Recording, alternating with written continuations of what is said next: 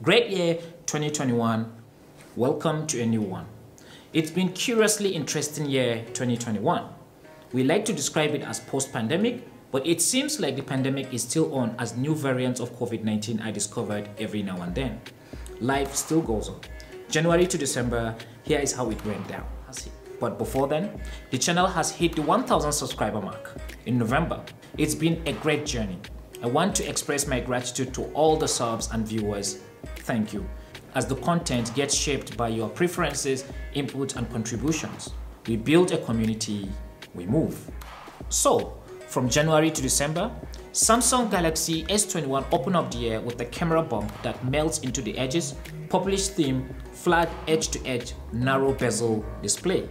ZTE with the world's first under-display camera, the Axon 20 5G. A camera that can see through the screen, takes pictures and videos from beneath the display. And Xiaomi Mi 11 comes with a curved AMOLED display, 6.1 inches diagonally, with a smooth 120Hz refresh rate, 1 billion colors with 515 pixels for every inch, with a light form factor that comes with variety. Base model Mi 11, ultra light 5G, for me, this phone is the best for there. On the electric vehicles landscape, Tesla Model S came with a 5-door liftback sedan with new interior, uniquely Tesla. Just a plain dashboard with 17-inch touchscreen and a half weirdly shaped steering wheel with a digital speedometer. 0 to 97 kilometers per hour in 1.99 seconds. Insane. With a driving range of 628 kilometers. Then the Hyundai Kona Electric, a compact SUV, 4 doors, lift back, 5 passengers. Cute and cuddly, says the skipper.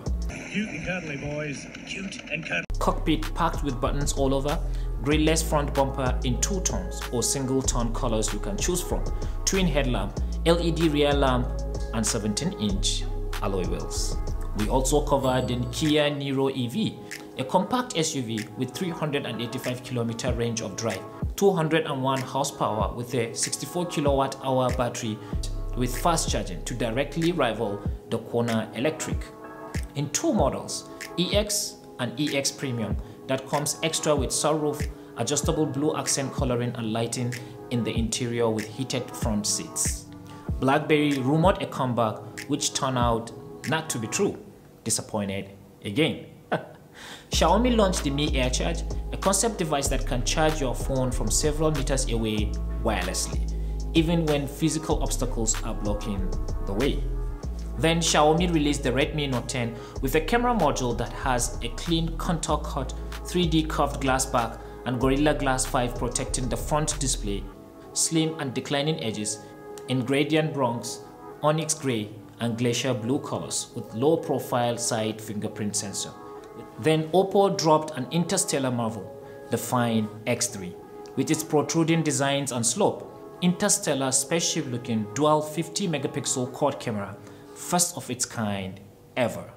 OnePlus partnered up with Hasselblad to give us the OnePlus 9, Samsung Galaxy A52 with its awesome screen, awesome camera, and long-lasting battery life.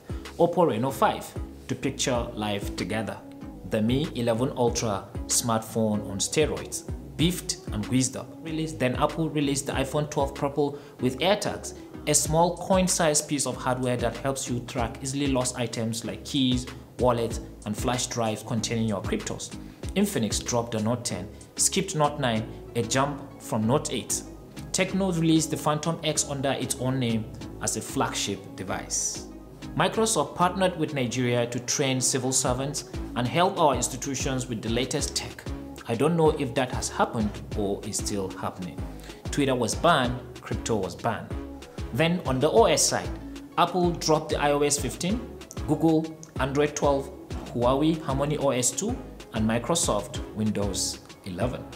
On the channel, we unboxed and reviewed the Mi 11 Lite, slim and awesome phone, covered the 1% rule, internet culture, 80-20 rule and TikTok resume.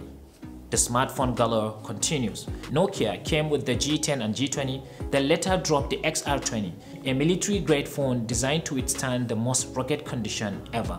Nothing dropped their transparent Ear One buds for their fans, Snapdragon released their highly spec'd smartphone for insiders to showcase their latest processor, the Snapdragon 888. Then in August, Samsung went for another round, released the Galaxy Z Fold 3, Z Flip 3, Huawei dropped the long-awaited P50. September and October came hot with the announcement of the eNaira. iPhone, iPhone 13 lineup dropped, Xiaomi dropped the Mi 11T and T Pro, Infinix the Zero X and X Pro. Microsoft dropped the Duo 2, Tecno the Camon 18.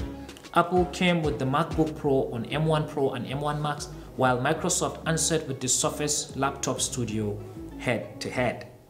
October to November, I had the privilege of attending the Future Investment Initiative, the fifth edition, in Riyadh, Saudi Arabia, organized by the Saudi Sovereign Wealth Fund, PIF, a global event where politicians, policymakers, technocrats, experts, students, and even small YouTubers like me convene to socialize, share ideas, discuss business and investment opportunities in different sectors. And I also got to visit other parts of the country, met up with friends, and had a good time. eNaira was launched with the Speed Wallet available in the app stores. Google dropped the Pixel 6 and 6 Pro, and we concluded with the E and we concluded with the eNaira New Era video. Oppo closed the year with the Find N foldables concise, compact, and fit for single hand. This was 2021 in a nutshell. It's been an interesting as well as challenging year. Tell me how was your 2021 as we prepare to jump into 2022. I wish you all the best.